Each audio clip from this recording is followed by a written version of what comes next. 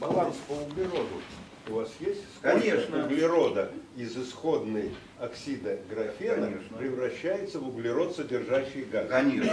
Так сколько? И соответствует ли это количеству кислорода? А я это самое, э, тут, наверное, забыл вставить этот слайд. Короче говоря, мы делали баланс следующим образом.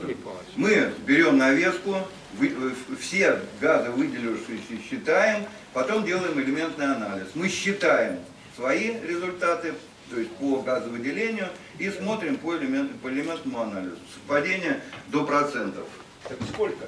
Вот если углерод в вашем исходной навеске оксида э, графена принять за 100%, да, сколько Да. углерода остается после восстановления в самом э, восстановленном и сколько уходит с газами?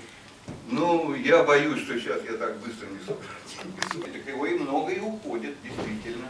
Да. Потому что, и надо сказать, что вот гидрозин, он в этом случае не, не очень хороший э, результат, гид- гидрозиновый взрыв, потому что там очень много СО.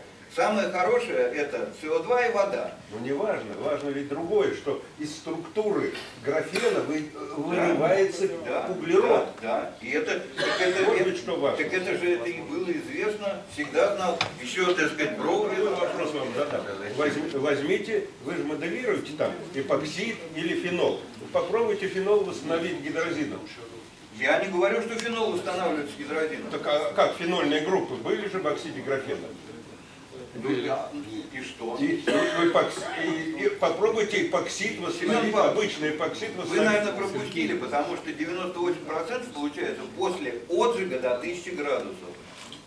Там уже гидроксилы. Там уже... А уже нет, но, Да. но СО и СО2 -то откуда у вас берется? Это же до этого? Вот это очень большой вопрос. А, ну вот Я я так- тогда молчу. это групп. Все говорят, от 200 до 400 эпоксиды распадаются. вот. При этом выделяется огромное количество СО, СО2. И как получить из эпоксида, извините, СО и Вы там СО2? писали модельные реакции на э, простейших ароматических соединениях. Там у вас был нарисован. Так вы попробуйте, вы возьмите фенол и попробуйте его гидрозином восстановить в каких-либо условиях. Вы никак не Вы восстановите. никак его не восстановите, так же, как и эпоксид. Точно так же, как и любая гидроксильная группа не работает с, с Правильно. Значит, та структура, которая нарисована для оксида графена, неверна. Там Нет, ароматических OH групп и эпоксидов нет. Там другая форма нахождения кислорода. Ну я же это не сам придумал. Я вот... Я так понимаю, вы взяли готовую формулу. Нет, нет, это люди с XPS, они считают, что они все про структуру э, графита оксида знают. И они пишут, что 30 там с лишним процентов это Я эпоксид всё и знаю, я гидроксид. читал. Ну да. Ну, Но ну, результаты ваши явно этому противоречат. Ну, у меня результаты, они на пальцах, и они физически понятны. А те результаты Конечно. получаются в результате, э, как это, СМИ, про- проглотившей э, слона. Ни из какой ароматики, ни из какой полиароматики, ни СО, ни СО2 вы никогда не получите.